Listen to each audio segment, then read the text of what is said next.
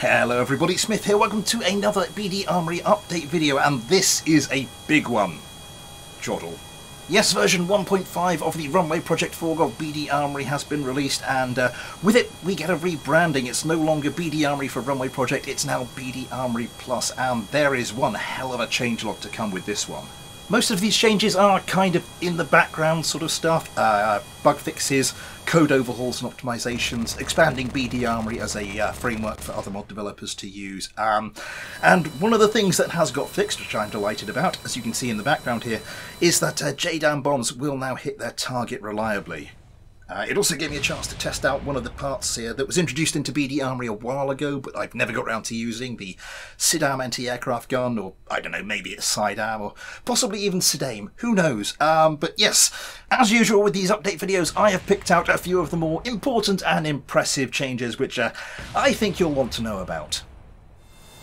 So the first new addition I want to look at is a relatively simple one. Now I'm sure we've all seen many BDA dogfights where, you know, your craft gets up to the set distance, turns around, the AI picks a target, fires missiles at it until it's got the, uh, the specified maximum number of active missiles on that target, and will later try to follow it in with guns. But technically there's no real reason why it only has to target one craft, especially when it's got excess missiles and is sat back a fair distance like this. And yeah, in the Weapon Manager, which you can also access through the guard menu, there's a new option, Max Missile Targets. Here I have two uh, suitable targets just flying around the place, uh, a pair of my Panthers, which are going to try and de uh, defend themselves, a little cruel, but we'll, uh, we'll get the point across. And if I just put Autopilot and Guard menu on, two missiles away at that target, two missiles away at that target, yeah.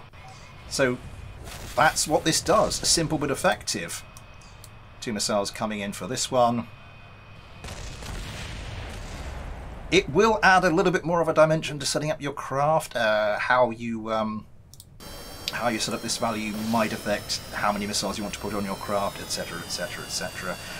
but that's that's the gist of it. We'll uh, we'll come back and have a bit more of a look at that in a genuine combat situation later on. But uh, in the meantime, there's a couple of other things I want to look at. A new part this time, if we take a look under one of my Red Hawks here, you'll see a strange kind of pod you might not recognise slung underneath, the AN AAQ42 IRST. And if we look at the modules, we can find it just there. Looking good. And there's a little red blob on there. This thing actually can go for um, 100 kilometers max range. I think that's better than the Radome will do. Yeah, I think the Radome only goes up to um, 40 kilometers and now we've lost the little red dot.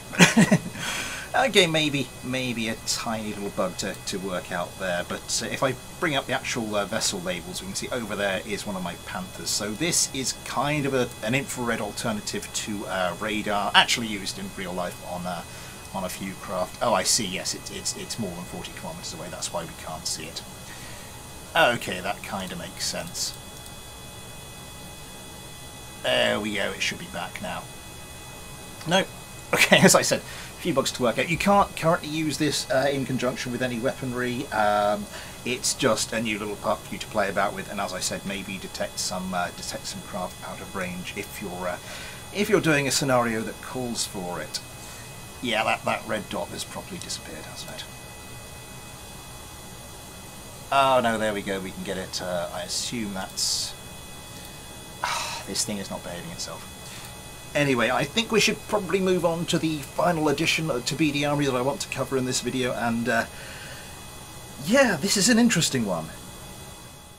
So this last change really is a big one, not to the AI, not to the way you'll fight your dogfight. It's not a brilliant new part, no. Um, well, let's um, let me explain. I mean, the whole process of designing craft like this in KSP is a lot of fun. I know a lot of people on my Discord, a lot of my subscribers really enjoy it, but there's one thing that's a pain in the ass, and that's having your beautiful new craft and then having to go and um, painstakingly get the AI tune right. I've done a couple of uh, couple of tutorials on getting the basic AI tune uh, somewhere in the right region, but now there's a tool to help you. If I can just go and find the uh, the AI pilot unit on this if I just bring that over here. You can also access this by clicking on the BD Armory AI window, although mine seems to be broken. I just get a grey line up here. I'm going to have to work out how to reset that. But one of the options you'll see, a new one is PID Auto Tune.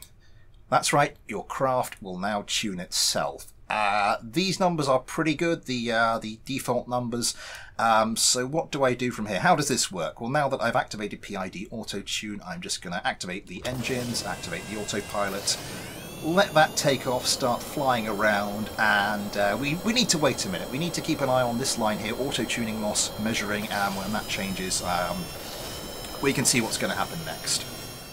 Okay, so we've got a value. That didn't take long, about 20 seconds or so. Um, it's 60.5652. That'll jump around a bit to start with, and you'll notice the, um, the settings here are already jumping around the place. And what will happen is, over time, uh, to get a basic tune like this will take, um, I'd say the best part of an hour.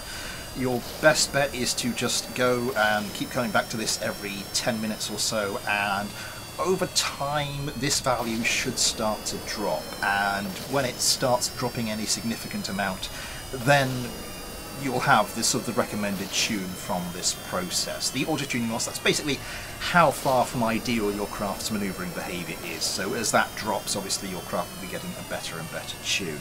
Uh, I have already done a longer run with the auto-tune with one of my Lynxes. Uh, I left it running, I think it was about 45 minutes, can't remember exactly.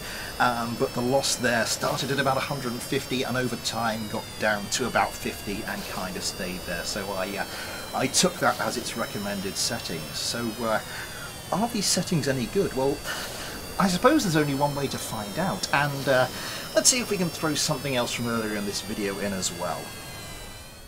So we'll end today's video with the traditional 3v3 dogfight. Two teams of my Lynxes, except these three have had some adjustments made. They're carrying an extra AMRAAM, and that is because I have uh, adjusted their missiles per target to one and their max missile targets to three.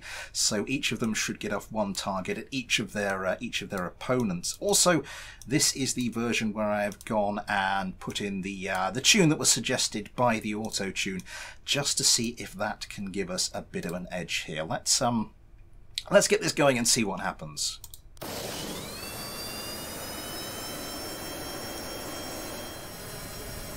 The competition starts. Bardnard and Kerman in one of the adjusted Lynxes is around quickly.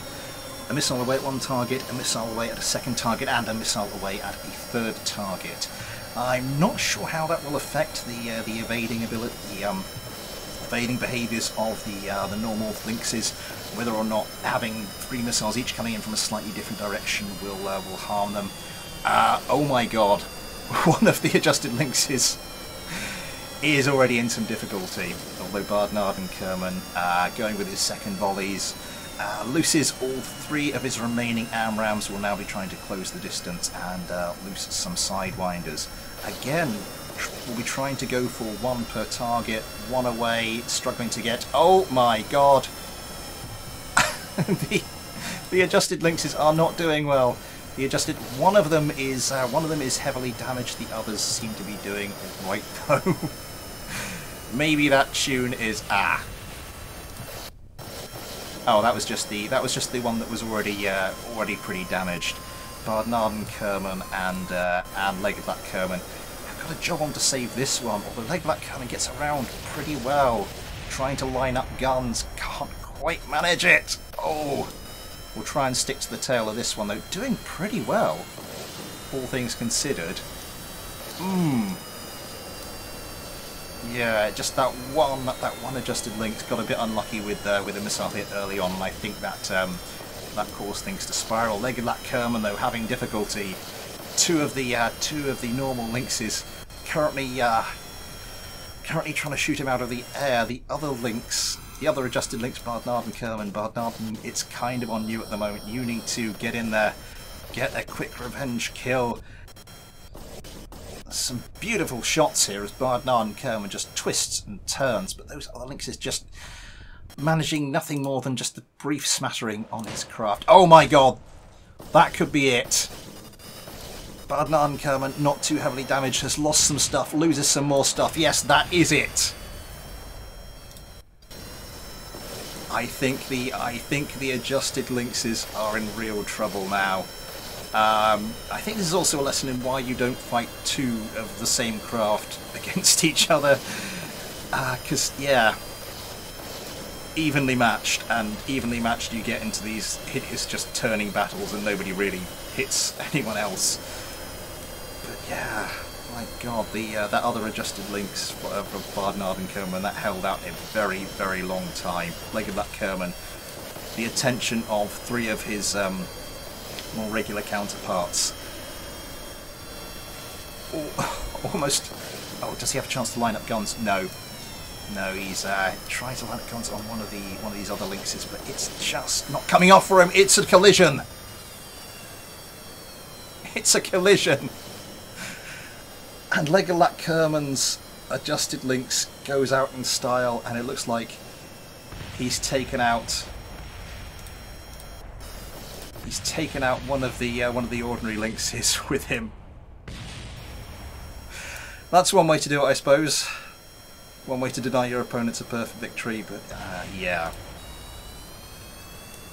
Yeah, one, one of these Lynx is a little bit damaged, this other one in perfect health. I don't think that tune added much. I think I'd already done a pretty good tune on this craft anyway, so I think that might be a factor here, but given how closely matched they were, and that I had done a decent tune on this already, it looks like the auto-tune tool is pretty good. Huh.